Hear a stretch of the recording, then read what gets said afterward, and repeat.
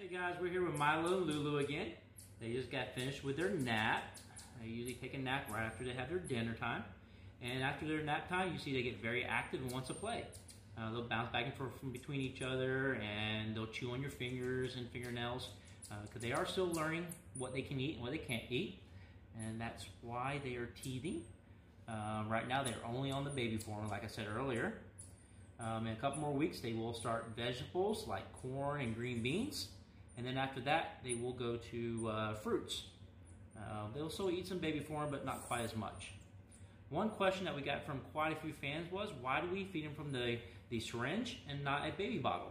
The reason we do that is because the baby bottles is they will drink way too fast and they'll spit it up. They don't to control their consumption yet. In the syringe, we can slow it down and, and administer to them a lot slower so they don't spit it up. All right, guys, say bye to uh, your fans. Lulu and my